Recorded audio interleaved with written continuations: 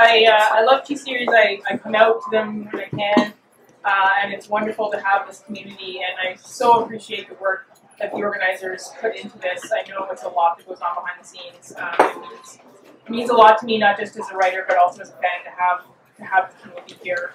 Um, so yeah, I, I got modeling already, and I just started. Kate Heartfield, folks, thank you very much.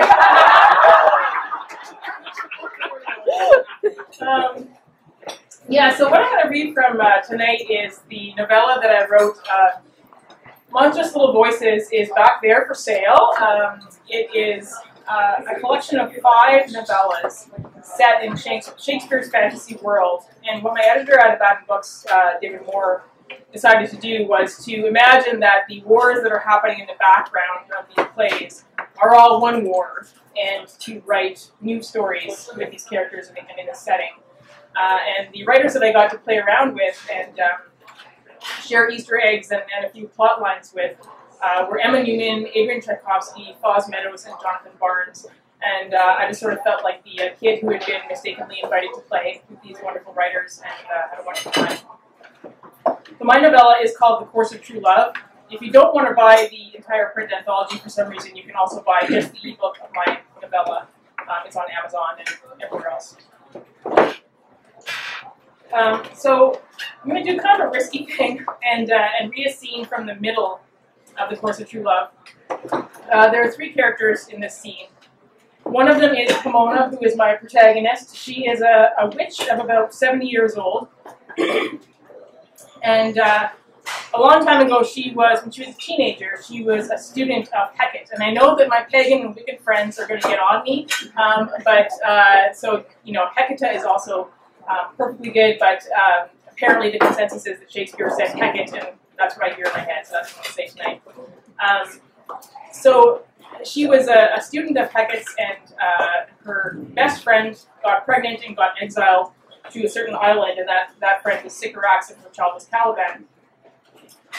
And uh, so when Pomona uh, kept this secret from Hecate, she was exiled in her own way to Illyria, which is basically Croatia, um, and, uh, and spent the next 50 years there It's a very, very simple plant-based witch uh, who didn't have much power at all. And then one day she happened to find a missing person, and that missing person was an ambassador who had been basically causing, about to cause a war between Duke Orsino and King Oberon, uh, which, as you can imagine, would not be good. Um, so when we uh, when we join into the story, Pomona has got this ambassador by the wrist. She's tied him up with some vines, and she's taking him to Orsino because she owes loyalty to Orsino. and uh, she's just hoping that nothing else happens on the road. Pomona felt a dangerous lightness in her step a foreboding of joy, as if she were on the verge of some marvel. The sun was very hot. She heard the dogs before she saw them, before she realized three, she and Vertumnus were approaching a fork where three roads joined. On her wandering mind. All these years, Pomona had been weary at such crossroads, preparing herself for Hecate. And today of all days, the great witch chose to appear. Hecate's dogs appeared, one by one, out of the air. The strained against her arm as Vertumnus stepped backward, but Pomona stood her ground, bootless to avoid Hecate when she had chosen, to speak. Pomona had, had, had, had cause to learn that many times long ago. The dogs, a witch's dozen, Pomona knew without counting, yipped and snarled until Hecate appeared herself in their midst and they quieted. The Queen of Witches had chosen one of the forms she used for strangers. Her body was one long, crooked stick, with another set across it for arms. Her head was completely covered in black cloth, tied at the neck, long enough that the four corners fell almost to the ground. Sycorax used to call it the scarecrow. Vertumnus was making a very good show of not being afraid, frowning at Hecate. What is this folly? Hecate asked, gesturing at Vertumnus.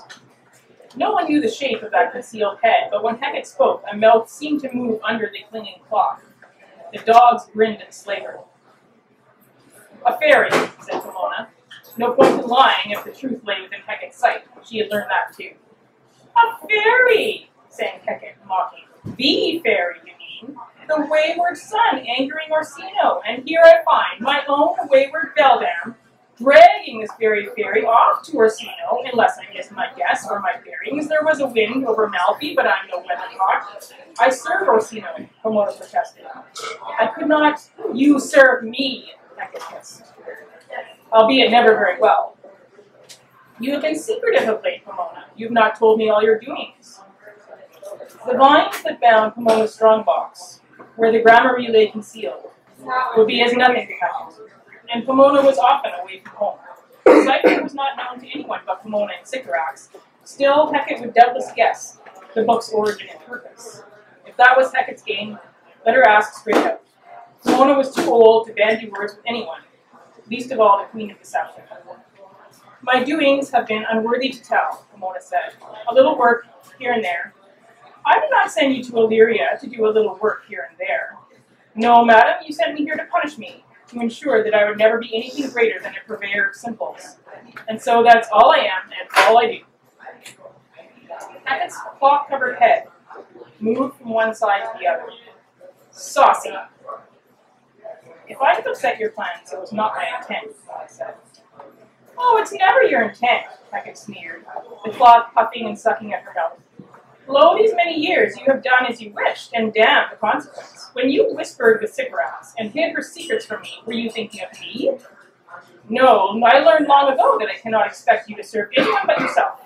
I had hoped, of course, that you would not interfere with my plans, as I do not interfere with yours. And yet here we are. Pomona stared. I believe the lady refers to me, Vertumnus said dryly. Oh, it speaks, Hecate crowed. Yes, I do wonder that a fairy places himself in the hands of a word witch. It was Hecate who had made Pomona read Rumi, who had educated her in 13 known languages and two unknown.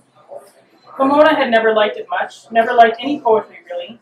Pretty words were as much use to her as cobwebs. I place myself in the hands of my rescuer, Vertumnus said.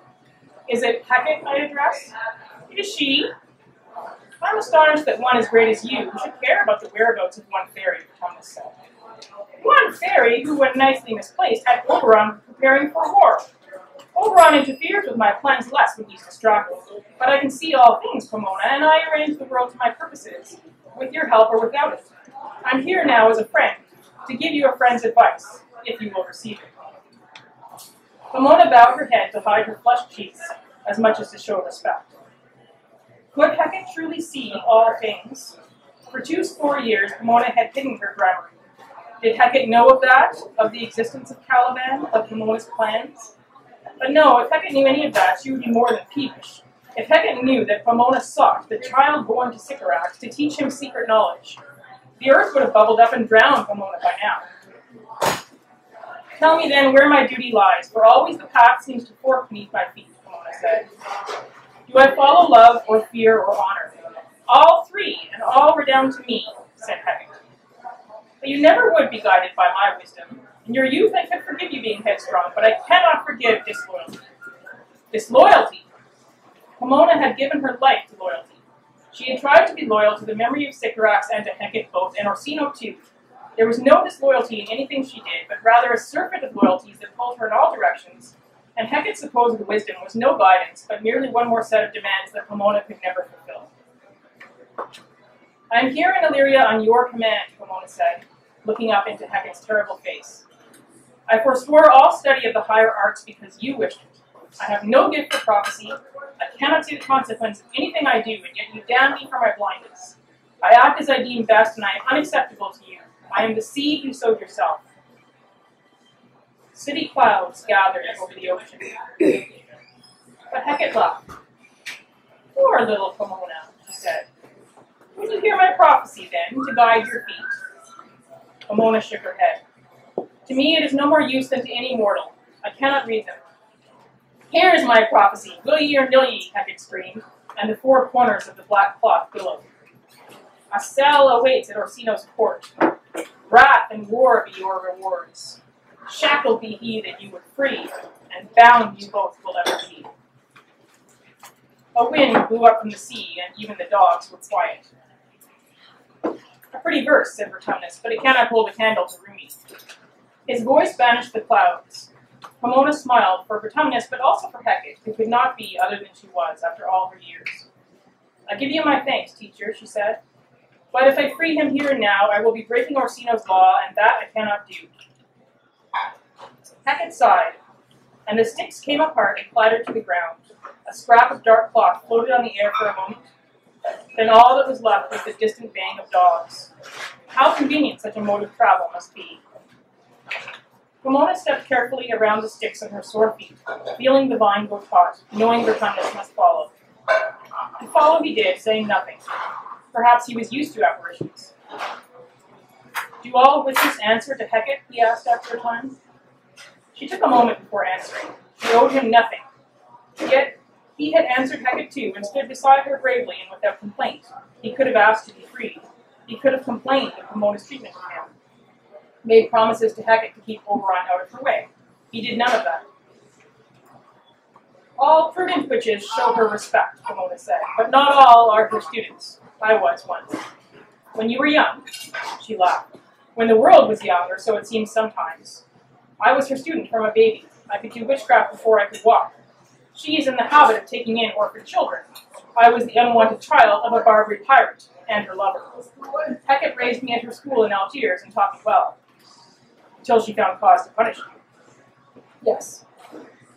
She said nothing further, but listened to the uneven sound of his footsteps. She had forgotten his hurt foot.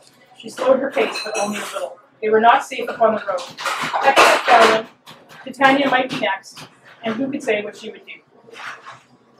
We were both raised away from the human lives we should have had, you and I, he said. She did not want to talk any more about the past, so she laughed. Like Romulus and Remus, she said, where shall we build our city? I'll stop there.